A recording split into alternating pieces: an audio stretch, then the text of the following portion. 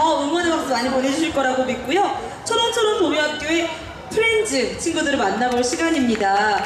어, 이번에도요, 좀 산뜻하게 뭔가 마지막을 잘 장식할 수 있는 지정곡이네요. 네, 우리 친구들을 위해서 제가 해주고 싶은 말. 원래 네. 방탄소년단이나 조용필 아저씨는요, 맨 마지막에 나와요. 자, 우리 친구들이 네. 준비한 지정곡, 춤추는 버드나무. 큰 박수로 청해 듣겠습니다.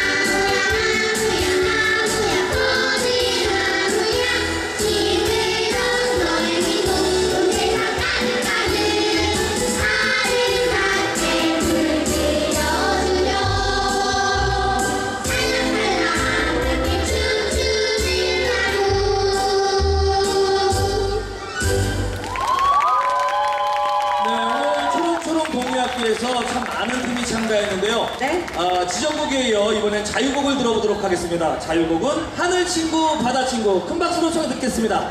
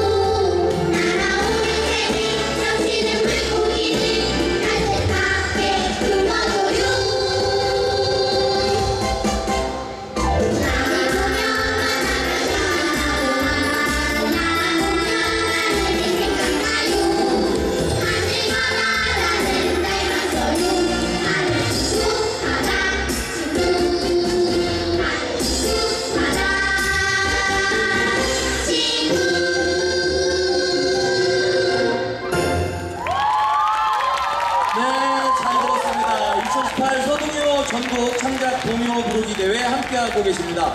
아까 제가 미처 말씀드리지 못했는데요. 네. 80여 곡의 창작곡이 접수가 됐는데 네. 어, 72곡은 선정이 못했습니다만 정말 관심을 가져주신 작곡가 선생님 여러분께 다시 한번 감사하다는 말씀드리고요. 네. 또 이렇게 동요대에 관심을 가져주신 동요를 사랑하는 가족 여러분들에게도 아, 사랑한다는 말 전해드리고 싶네요. 네, 그리고 우리 참가자분들에게도 너무너무 고생하셨다는 이야기 꼭 드리고 싶은데요. 자, 우리가 이제 부여 외에도 이런 노래가 참 더 많이 불려야 되잖아요. 그래서 좀 다음 무대는 색다른 무대가 준비가 되어 있다고 합니다. 네, 자 이번